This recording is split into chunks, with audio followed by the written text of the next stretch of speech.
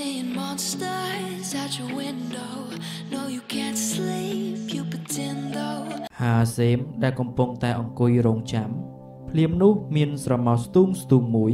ទៅនឹងបង្ហាញខ្លួននៅចន្លោះសសរដែលបែកបាក់នោះ គឺអាមេតលុយហ្វីនដែលដើរមកឈប់ចម្ងាយប៉ុន្មានម៉ែត្រតែប៉ុណ្ណោះពីហាសេមជាមួយនឹងកាយវិការយ៉ាងរហ័សបានដកកាំបិតស្នៀតចេញពីស្រោមប៉ុន្តែ គូបដិបករបស់គេ បានទាញកាំភ្លើងចេញមកហើយសំឡេងផ្ទុះដ៏ខ្លីមួយ បានបន្លឺឡើងក្នុងវាខ្សាច់ដ៏ស្ងាត់ជ្រងំនោះឯព្រះអាទិត្យបានបណ្ដែតខ្លួនឡើងពីទិសបូព៌ាហើយចាំងបំភ្លឺតំបន់បាល់មេជាថ្មីសូឡៃម៉ាកាប៊ីសបានចេញដំណើរតាមរោគបងប្រុសអមដំណើរដោយយូហ្វេតម៉ូរ៉ាតមួយសន្ទុះក្រោយមក នាងក្រឡេកឃើញសាកស្វាប់ហើយស្ទុះទៅអោបផ្សាប់បងប្រុសយំយ៉ាងខ្លាំងយូសេតនៅឈរក្បែរនោះយ៉ាងស្ងៀមស្ងាត់ នៅពេលដែលនាងជាគូដណ្ដឹងងើបឈរឡើង គេក៏មានអារម្មណ៍ដោយមិនច្រឡំថានឹងមានសោកនាដកម្មមួយជាមិនខានស៊ូលើម៉ាលើកខ្លួនបងប្រុសជាមួយសំឡេងស្រែកមួយវ៉ាស់ធ្វើឲ្យយូសេតស្តនស្លោ ភាំងខ្លួនរឹងដូចថ្មមិនក៏មិនជួយខ្ញុំផងមិនត្រូវទុកគាត់នៅទីនេះទេពលបាលកងទ័ពអូតលើកសាកសពហាសេមដាក់លើខ្នងលា មួយក្នុងចំណោមលាពីរក្បាល ដែលពួកគេជិះមកទីនេះ គេត្រឡប់មកវិញដោយថ្មើរជើង ក្រោមពន្លឺព្រះអាទិត្យដែលបញ្ចេញកម្ដៅខ្លាំងរួចទៅហើយ លើសមុទ្រខ្សាច់ដ៏ធំល្វឹងល្វើយនេះយូសេហ្វ ពោលឡើងដើម្បីបំបាយភាពស្ងប់ស្ងាត់តើអូននឹងធ្វើអ្វីទៀតស៊ូឡាម៉ាតបវិញជាមួយសំឡេងតិចតិចស្ទើរស្ដាប់មិនឮធ្វើអ្វីដែលជាកាតព្វកិច្ចរបស់ខ្ញុំអូននឹងប្តឹងប៉ូលីសឬទេប៉ុន្តែនេះជាគិតកម្មណា គេបាញ់ចំបេះដូងរបស់គាត់សំលេងរបស់នារីវ័យក្មេងតបដោយត្រជាក់ស្រេបជាងមុនខ្ញុំឃើញហើយ បងប្រុសបានស្លាប់ដោយដៃជន់កំសាកដ៏ថោកទាបម្នាក់ហើយខ្ញុំក៏ដឹងថាឃាតករនោះជានរណាដែរគាត់បានប្រាប់អូនថាពួកគេមកជួបគ្នានៅក្នុងប្រាសាទបាក់បែកនេះឬទេប៉ុន្តែស្នាដៃនេះគ្មាននរណាក្រៅពីអាមេតលុយហ្វីននោះទេយូសេហ្វសាកល្បងរកហេតុផល អូនគិតនេះប្រហែលជាត្រឹមត្រូវប៉ុន្តែ គឺក្នុងហេតុផលនេះហើយ ដែលយើងត្រូវទៅប្តឹងរដ្ឋអំណាច ហើយអាមេតនឹងត្រូវបានចាប់ខ្លួនផ្ដន្ទាទោសតាមច្បាប់ស៊ូលឺម៉ាសម្លឹងគូដណ្ដឹង ជាមួយក្រសែភ្នែកដ៏មុតស្រួចបងចង់និយាយថាបងនឹងធ្វើបែបហ្នឹងបងនឹងទៅនិយាយរឿងហ្នឹងប្រាប់ប៉ូលីសឬស្ដាប់បងស៊ូលឺម៉ាអូនគួរយល់ដល់បង បងត្រូវតែបង្ខំចិត្តធ្វើរឿងនេះ អូនក៏ដឹងហើយថាបងជាទាហាន កងពលអូនជាមន្ត្រីរាជការ ហើយនេះគឺជាករណីឃាតកម្មប្រសិនបើបងធ្វើបែបនេះមែនយូសេហ្វបងអាចពោលពាក្យលាគ្នារហូត ពីឥឡូវនេះឮសំដីដាច់ណាត់បែបនេះពលបាលកងទ័ពអូតរក្សាភាពស្ងប់ស្ងៀមហើយក្នុងរយៈពេលនេះ គេឮសូរតែសំឡេងស្នូជើងសត្វលា និងស្នូជើងរបស់គេទាំងពីរនាក់ប៉ុណ្ណោះយូសេហ្វ បានត្រឹមតែដកដង្ហើមធំ ដោយមិននិយាយបន្ថែមអ្វីទៀតទេប៉ុន្តែស៊ូលឺម៉ាចាប់ផ្ដើមនិយាយនាងនិយាយជាមួយសំឡេងដ៏ចម្លែកហាក់កំពុងតែយល់សពហាក់កំពុងស្ថិតនៅក្នុងឋានមួយដ៏ឆ្ងាយខ្ញុំនឹងយកសពបងហាហ្សេមទៅបញ្ចុះរួចហើយខ្ញុំនឹងចេញដំណើរអូននឹងធ្វើដំណើរទៅណាស៊ូលឺម៉ាហាក់មិនលឺសំណួរនេះទេ នាងនិយាយបន្ត ខ្ញុំនឹងបញ្ចុះសពបងប្រុសឲ្យអង្គុយព្រោះប្រលឹងរបស់គាត់មិនបានសុខសាន្ត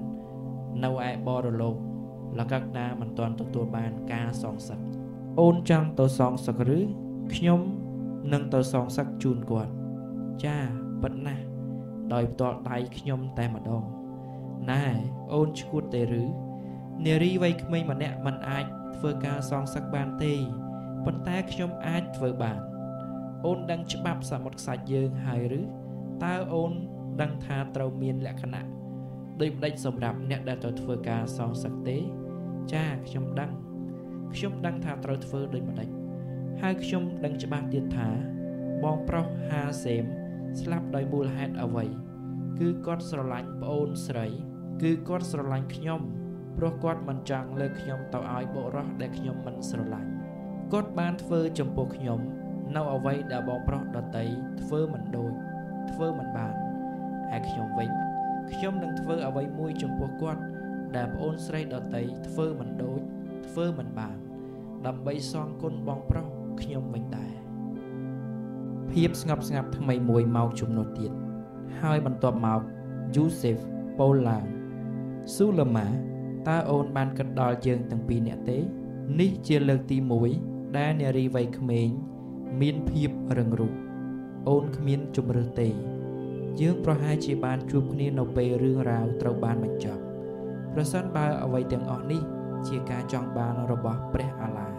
ស៊ូឡាម៉ាអូនសំឡាញ់អូនដឹងច្បាស់ណាស់ថា ការធ្វើបែបនេះ វាមិនអាចទៅរួចទេ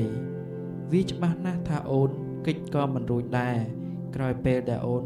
ធ្វើនៅអ្វីដែលអូនចង់ធ្វើនោះស្ត្រីវ័យក្មេង មិនឆ្លើយតបឯយូសេហ្វអស់សង្ឃឹម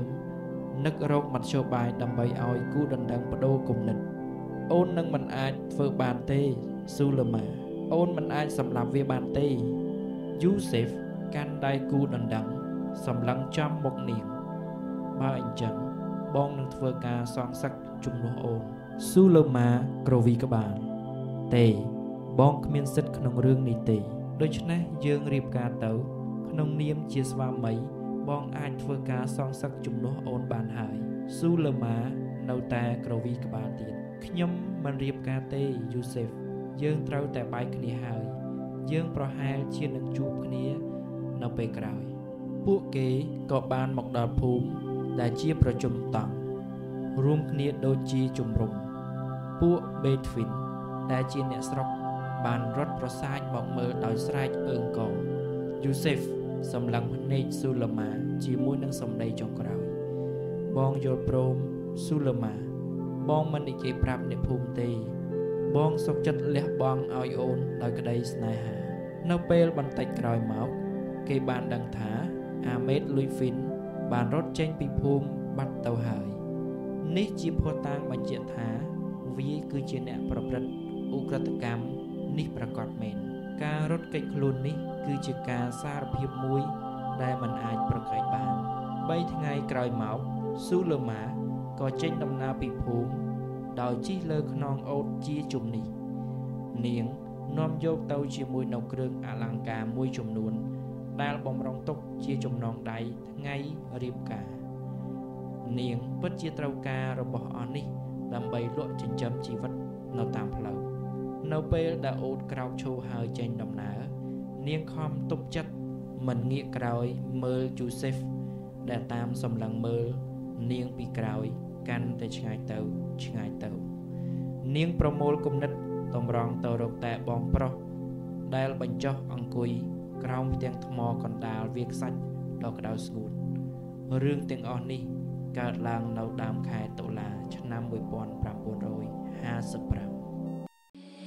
Seeing monsters out your window. No, you can't sleep, you pretend though. You don't have to play the hero. Cause I got you like you got me. When the earth shakes, when the bombs scream, until our last breath, every heartbeat.